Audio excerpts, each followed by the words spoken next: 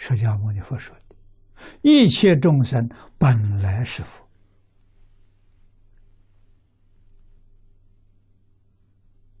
总不能说一切众生本来是上帝，本来是神，这个话讲不通。啊，一切众生本来是佛，为什么？你本来觉悟，你现在不觉悟。为什么不觉悟？佛说的很清楚，你迷了。怎么迷了呢？起心动念就迷了。起心动念是最初的迷惑，迷得不深啊！再加上分别，这就深了，迷得深；再加上执着，你迷得更深了。啊，一重一重的迷惑，啊，起心动念是第一重，分别是第二层。执着是第三层，啊，这三种迷惑你通通具足，所以你把你的自信，你把你的本能全部丧失掉了。这个丧失不是真的，啊，经典上告诉我们，这个是叫迷失，根本就没有失掉。只要把你的迷去掉，你本来的本能就恢复了。啊，本能是什么呢？第一个智慧。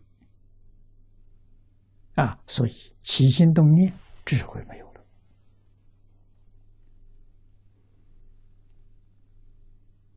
啊，第二个是德能，这一分别了，德能也没有了。在一执着的时候，相好也没有了。啊，自信里有这三样东西，这三样包括了整个宇宙。啊，智慧的能相好啊，是你自己本来具足的，不是外头来的。因此，佛家的教育跟世间完全不相同。啊，世间教育是让你学习，懂得很多的知识；佛法不是的，佛法教育是叫你放下，什么都放下，恢复你自信本能。你自信有无量智慧，有无量德能，有无量相好。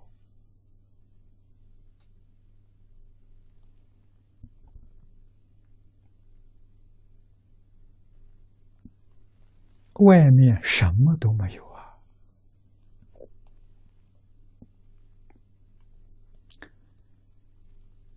释迦牟尼佛开悟了，怎么开悟的？放下妄想、分别、执着，就开悟了。